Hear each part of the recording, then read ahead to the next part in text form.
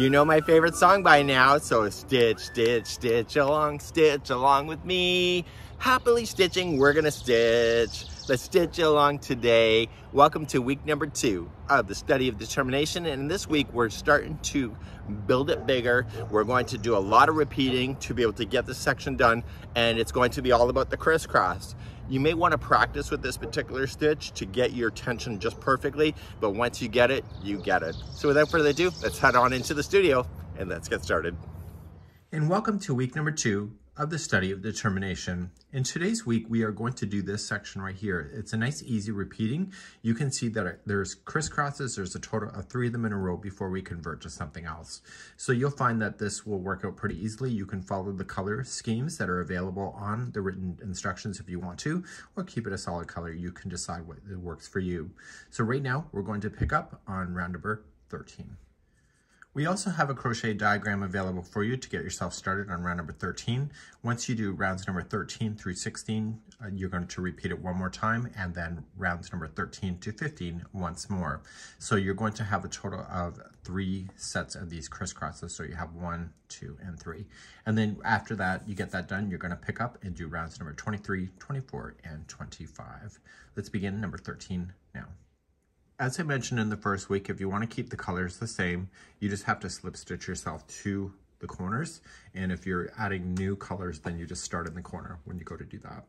Round number 13, it's a nice easy round. You're just going to um, chain three and you're going to double crochet into the corner. And then you're going to turn the corner. So chain two and two more double crochet into the corner. So the corners on this particular one will be two double crochet, chain two, two double crochet. The rest of these all the way across are just one double crochet in each stitch all the way. And I will see you at the end of this round. So just make sure that you put in your corners as I, as I stated and maybe at the end of the round in a moment. For full transparency reasons, I'm only concentrating on how to get out of a corner and then back into a corner. So when I say to go all the way around, how I finish uh, uh coming into this of a, of, of, a corner is the same instruction. So just uh, make sure that you are paying attention to that. And I am coming all the way around. And I'm just putting one double crochet in each of the stitches right to the very end. Okay, making sure I'm just gapping all my stitches exactly where I need to be, and then I'm just going to slip stitch. Now I'm gonna keep this color going on, so I'm going now on to round number 14. Round number 14, I'm going to slip stitch myself to the corner, and then I'm going to chain one, and I'm going to place one single crochet in there, chain two, and one single crochet. So the corners in this round will be one single crochet, chain two, one single crochet. Just simply apply one single crochet in each of the stitches all the way to the next corner and then do the corners as I just said and maybe at the end of the round, this is round number 14. I'm coming all the way around at number 14, just right to the very end. We've already got the corner done. So now I'm going to just slip stitch to the first single crochet and I'm gonna keep this color going, but if you don't want to, then just um, end your color and then start in the corner. In my case, I'm just gonna slip stitch one more over. So I'm going to continue. I'm gonna bring you back to the diagram for round number 15. So round number 15, we're gonna start off in the corner, chain three, one double crochet in, chain two, and two double crochet in. You're going to put in three double crochet in a row before doing these extended double crochets. And right where I'm pointing is the first stitch that this is gonna go into. And then we double crochet into the next one and then we come back into the very first one that leaves the corner. This happens to be the extended um, single crochet. In the future, once you have this repeating done over and over and over, you're going to notice is that the crisscross always starts right after the corner. Okay, so we'll see that in the future again um, as we continue this along. So let's now begin and we are going to carry on to round number 15. Round number 15, let's get started. We're gonna chain three and double crochet into the corner, chain two and two double crochet. So the corners on this round will be two double crochet, chain two, two double crochet. When you leave a corner, the first three in a row will each be a double crochet. So we have one, two, and three. And now we're going to do an extended double crochet and we're going to use the bottom piece of the double crochets that are here all the way down. So if you're not sure which one to use, see where this one's pointing to right here. This is the first one. So when we cross back, we're gonna go into this one. We skip the next one and we go to the third right there. So we're just going to wrap the hook and you're gonna come into that one and you're gonna allow this to go over the project and just pull through and just give it a bit of slack. You may wanna practice this a bit and then just finish your double crochet as you normally do. And this is just resting right in the front. Now you just may need to move this a little bit because you have the first one, which is this is, this is gonna count as the first one. The second one is right there. So just kind of move it out of the way and double crochet the second. And now you're gonna do an extended double crochet into the first one that leaves the corner. So we wrap the hook and we come in right here. Pull through give it a bit of slack, the same slack, and then just double crochet as you normally do. That's an extended double crochet. Now, once you have this established, is that the next three spaces down here are going to be this an extended double crochet again. So you're just gonna immediately just start and do the same concept. So just skip one, two, go to the third, and do an extended double crochet down.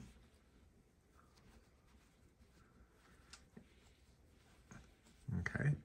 And when you leave this one here, the double crochet is kind of hidden here. So this counts as the last one. The empty one here is the last one here. This empty one right here is the first one of this. And so you just want to move it out of the way. And if you follow this straight up, it's, it's crossing in front of the stitch that you probably want to use. You're going to get used to it. It's not that hard. It's just hard to explain. And now we're going to cross back into the first one that you jumped over. So it's all about the tension. And you create these amazing stitches by doing this. So I'll show you one more time. So you look at the next three empty ones. So one, two, and three. So you go to the third one and do the extended double crochet. See how it's crossing over here? That's crossing into the stitch you actually want to use. But if you want to peel it back to prove it, there's the first one that was part of here. The second one was this one, and the one that it's in front of is the double crochet you want to go into. Or is the double crochet you want to make, and then cross back into the first one that you skipped. So when you get to a corner, the last three stitches before the corner will just be regular double crochets you'll do your corner of two double crochet, chain two, two double crochet, and then you'll start out from a fresh corner again. The, the first three are empty, and then you start crisscrossing just like you see here. So please do this all the way around. This is round number 15. So when you come up to any corner, regardless of which one it is, the last three are going to be the double crochet. So if you think you lost your way, just make sure you got three double crochet in the end. There's always a way to fake things, right? And this will then conclude. So then you're just gonna join it to the top of the chain three, and then I'm just gonna slip stitch to the corner to start another round. So now we're gonna move on to round number 16, and you can see you have these really cool textured pieces, just like you have. So let's begin number 16. Let's begin number 16 right where you're sitting in the corner, if you're joining new color, just make sure you start in the corner. Just sing, uh, chain one, one single crochet, chain two, one single crochet. So that's your corners, one single crochet, chain two, one single crochet. Simply apply one single crochet in each of the stitches all the way to the next corner, do your corners, and then do this all the way around. This is round number 16. I'm coming up to the end of number 16. Going right to the very end, the corner is already done and you're going to slip stitch to the first single crochet.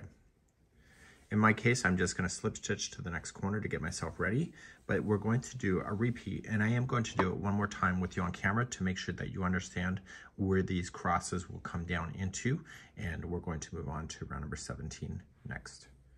Round number 17 is the same as number 13, just chain three and double crochet into the corner. Chain two, and double crochet twice more. So your corners on this round will be two double crochet, chain two, two double crochet. Simply apply one double crochet in each of the stitches all the way to the next corner, turn your corner, and maybe at the end of the round. This is number 17. I'm coming up to the end of number 17, and it's just a double crochet in each of the stitches going all the way around. And once you have that done, you're just going to slip stitch to the first chain three. I'm going to slip stitch to the next chain two to get ready. If you want to change colors, you can. And now we're going to do number 18. 18 is another single crochet round, so just chain up one and do one single crochet, chain two, and one single crochet. So your corners are one single crochet, chain two, one single crochet. Simply apply one single crochet in each stitch. Do this all the way around, and I'll see you at the end of round number 18 in a moment. So I'm coming all the way around here and just another nice easy single crochet round. So you can see that not all the rounds are really that mentally hard. They're just, as a matter of just building. So I'm going to slip stitch myself to the corner. If you'd like to change the color, then that's where you're gonna start. And then we're going to repeat doing this crisscross in the next round here of round number 19. If you'd like to know the stitch counts, it is available on the pattern to you. You're going to notice is that we have a certain amount of crisscrosses that happened last time. We're going to be increasing by four crisscrosses per side from what you had before. If that helps you to know that, you'll see that on the pattern as well.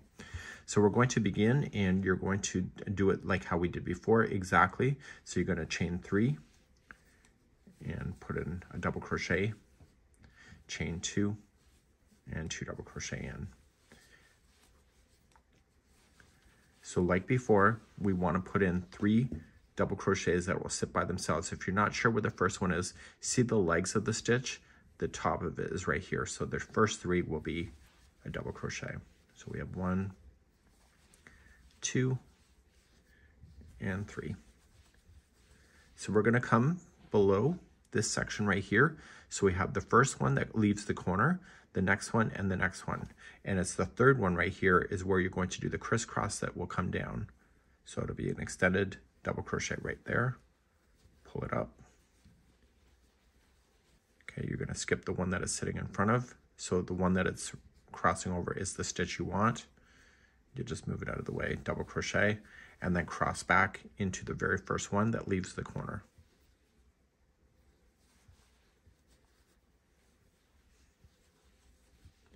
Okay, so that counts as the one that is sitting in front of here. So this will be the next one that will be left empty. So we, this will be the next double crochet when we get there. However, we have to come back down and skip and go one, two, and three. So you're gonna come back here. Extended double crochet. Okay, you're skipping the two ones that you should. And then cross back. It's all about consistency for the, the length of these. Okay, let's do one more. So I'm just gonna come down and I'm gonna skip one, two, and three.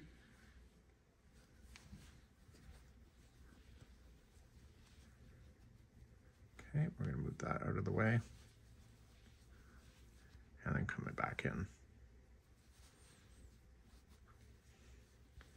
And you will notice, and it's by design, that when I did it, the crisscrosses will line exactly over top of each other.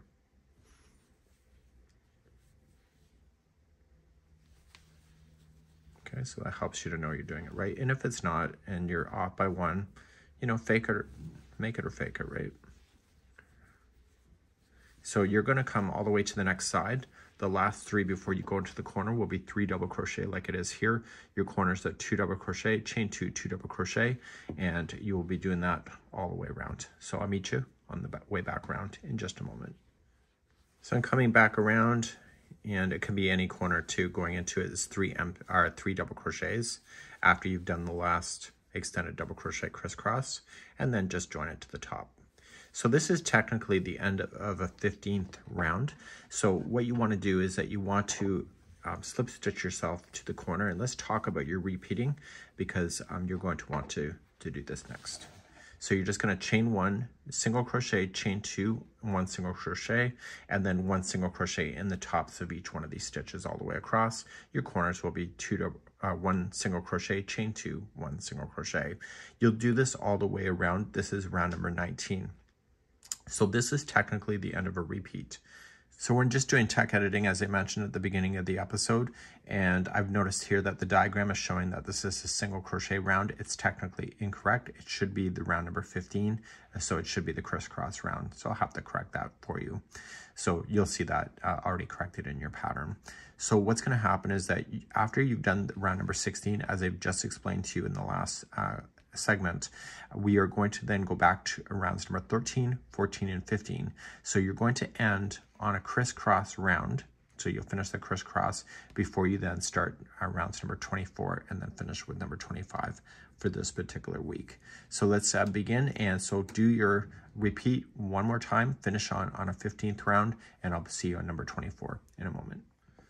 Let's start round number 24. I'm already in the corner, so just chain up one and apply a single crochet, sorry, a half double crochet, chain two and one half double crochet. So each one of the stitches all the way across is going to be one half double crochet each. Your corners will be one half double crochet, chain two, one half double crochet. This will be round number 24. Please meet me at the end of the round in just a moment. I'm coming up to the end of number 24, applying one half double crochet in each right to the very end and then I'm just going to join it to the top of the first half double crochet that I started with.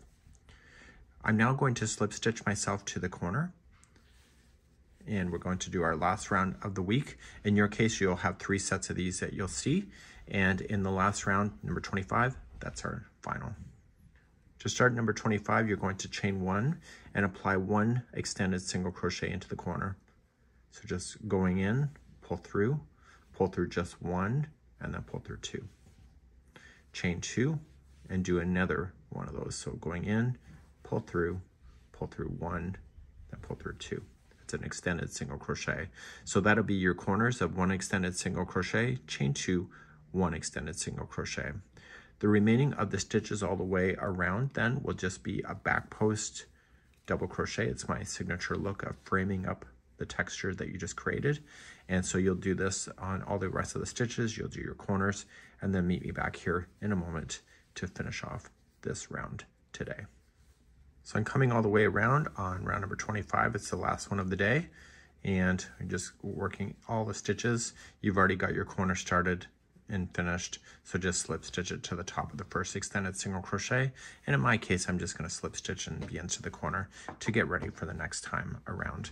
So I'll see you on week number three as we continue this journey. And so far, so good. And we'll see you again another time. Bye-bye now. Have a good one. So that's it for week number two. We're gonna see you on week number three as we continue the journey. In week number three, we have a stitch that I created for myself and I call it the crossing bridge stitch. But we'll cross that bridge when we get there in week number three. I'll see you next time. Bye-bye.